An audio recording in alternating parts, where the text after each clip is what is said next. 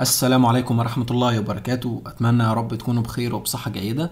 إن شاء الله بإذن الله النهاردة يكون موجود معانا فرصة ممتازة جدا. بس طبعا كالعادة قبل ما نتكلم عنها أحب أوضح إن إحنا عرضنا فرص ومنح كتيرة جدا سابقة. ودي القناة بتاعتنا هتلاقوا عليها كل شيء. منح موجودة في اليابان في كوريا الجنوبية تايوان فرنسا أمريكا دول كتيرة جدا مختلفة. بالإضافة كمان كنا عرضنا سلسلة فرص تطوعي السفر إلى الخارج. وكنا عرضنا بعض المواقع اللي من خلالها تقدر تلاقي فرصة عمل بكل سهولة. بالإضافة كمان كنا وفرنا فرصة عن طريق قناتنا وهي فرصة تطوع في فيتنام شاملة معظم التكاليف.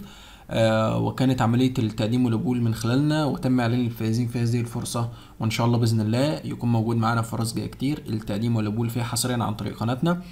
آه بالإضافة كمان كنا وفرنا خدمة المساعدة في التقديم لأي فرصة أو منحة أنت عايزها. تقدر تقدم من خلالنا بشكل احترافي أو تقدم بنفسك باتباع شرح الفيديوهات الموجودة على القناة.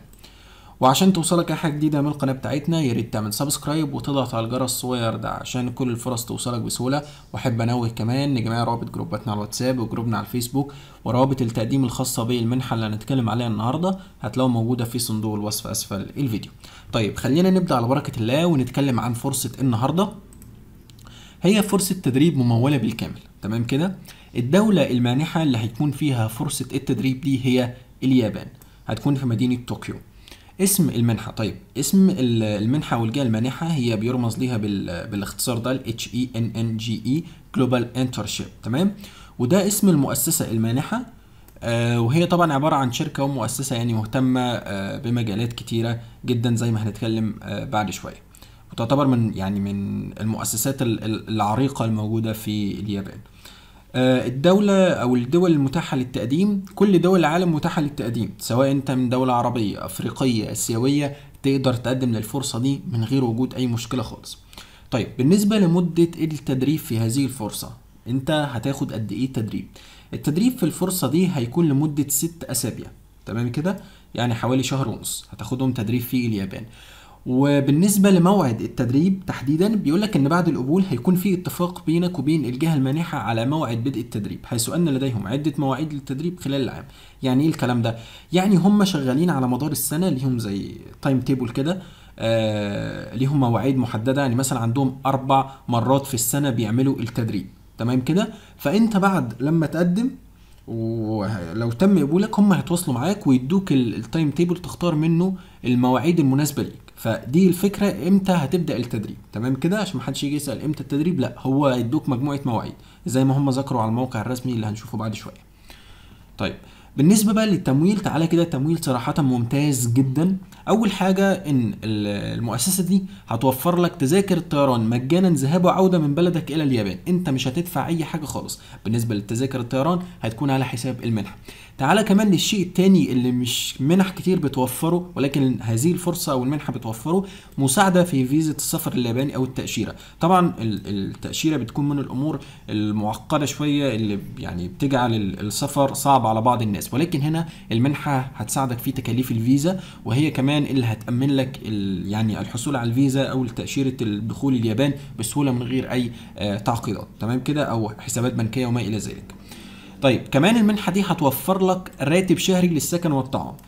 في راتب شهري هيكون ليك عشان تقدر إنك تسكن وتكاليف الطعام بتاعتك وأي تكاليف إضافية هتكون من خلال المرتب اللي هيتم يعني تحديده ليك وهيتم إرساله ليك كل شهر من قبل المنحة.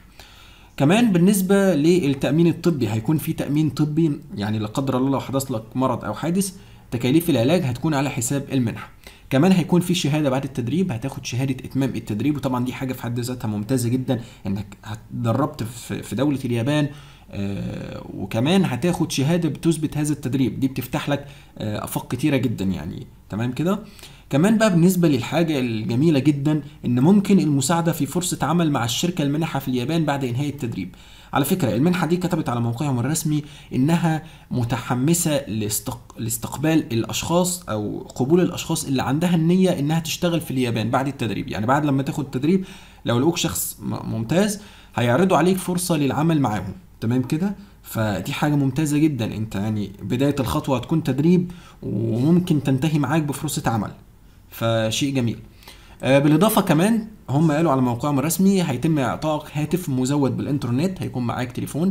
آه، هيتم إعطائه ليك خلال فترة التدريب عشان تقدر تتواصل مع الأشخاص وتقدر تتواصل مع العالم الخارجي يعني. تمام كده؟ طيب هنا عندنا ملاحظة إن هذه المنحة ليس بها حد أقصى العمر، المنحة دي مش مطلوب فيها حد أقصى العمر خالص، سواء يعني سواء أنت سنك كبير سنك صغير تقدر تقدم الفرصة دي مفيش أي مشكلة خالص، كمان المنحة دي لا تحتاج شهادة لغة إنجليزية عند التقديم، في منح بتقول لك محتاجين شهادة ال IELTS ال TOEFL شهادة لغة إنجليزية عشان تقدم للمنحة، لا، المنحة دي مش طالبة منك أي شهادة لغة إنجليزية خالص، تمام كده؟ ولا حتى طالبة منك معرفة باللغة اليابانية. بس طبعا لازم يكون معاك محصلة من اللغة الإنجليزية يعني تكون بتعرف شوية إنجليزي عشان لما تروح هناك أثناء التدريب تعرف يعني تتواصل معاهم. تمام كده؟ طيب بالنسبة لمجالات التدريب التدريب ده هيكون مخصص ليه؟ بيقول لك التدريب ده مرتبط بتخصصات هندسة وعلوم الكمبيوتر فقط. يعني إيه؟ يعني التخصصات المرتبطة بالهندسة وعلوم الكمبيوتر والبرمجة والأشياء دي كلها هتكون في هذا التدريب لأن الشركة دي اللي هي اتش اي ان ان جي اي دي شركة خاصة بالتكنولوجيا وعلوم الكمبيوتر والبرمجة. فالأشخاص اللي اللي مرتبطين بهذا المجال أو بهذه المجالات يقدروا يقدموا في الفرصة دي. تمام كده؟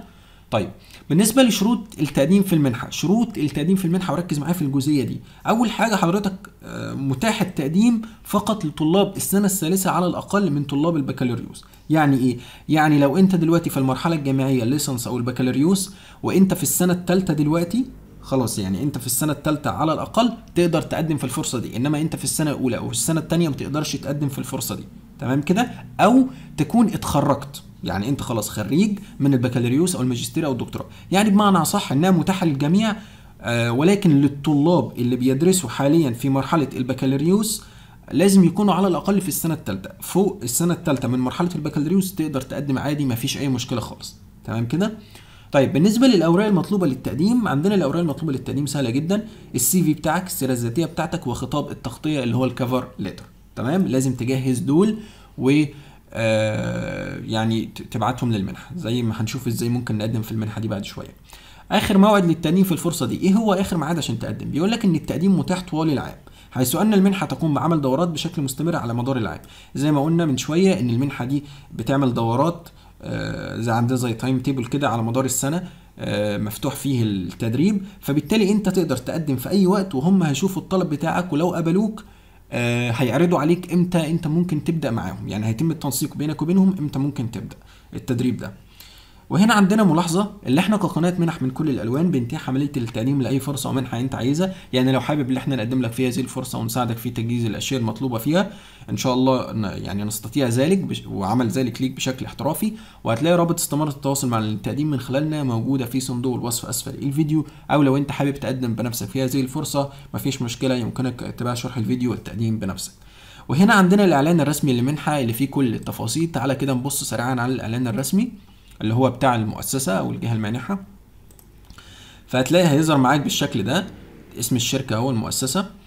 آه، ده ال ال يعني التفاصيل بتاعة ال scholarship دي وبيقول لك هنوفر لك إيه هنا؟ هنا الأشياء اللي هم هيوفروها الأشياء المطلوبة في الشخص اللي لازم المتقدم. تمام كده؟ ده ال- ال batches هنا ال time table اللي هم بيعرضوه على مدار السنة في 2021 ده ال time table إمتى يعني ممكن تنضم من من إمتى لإمتى تنسق معاهم آه، وهم هيقولوا لك إيه المواعيد المتاحة وإنت تختار الميعاد ده لبدء التدريب إذا تم قبولك تمام كده؟ ده الموقع الرسمي هتلاقي فيه كل التفاصيل. طيب خلينا دلوقتي نشوف إزاي ممكن نقدم في المنحة دي.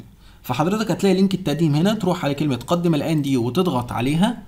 هيفتح معاك link التقديم أو application التقديم. تمام كده؟ طيب application التقديم هيكون إزاي؟ هيكون كده. مطلوب من حضرتك إنك تعمل الأول ايميل تمام؟ وتختار الدولة بتاعتك وتضغط على المربع ده تمام كده؟ وتختار انت سمعت عن المنحة إزاي؟ وبعد كده بتعمل كلمة submit دي بتضغط عليها. لما بتضغط كلمة submit الإيميل اللي انت كتبته هنا بتوصلك رسالة على إيميلك تمام كده؟ الرسالة دي بيكون فيها link زي ال- ال- الرسالة اللي وصلتني هنا فبيكون فيها link انت بتضغط على ال link ده لأن ده ال link الخاص بيك انت دلوقتي بتاع ال application بتاعك تمام كده؟ ده ال link ال application بتاعك انت.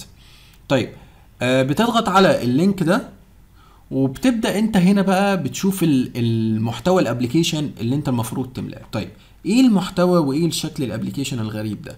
تعالى كده نبص. هتلاقي عندك أول حاجة مطلوب منك كذا mission كذا مهمة.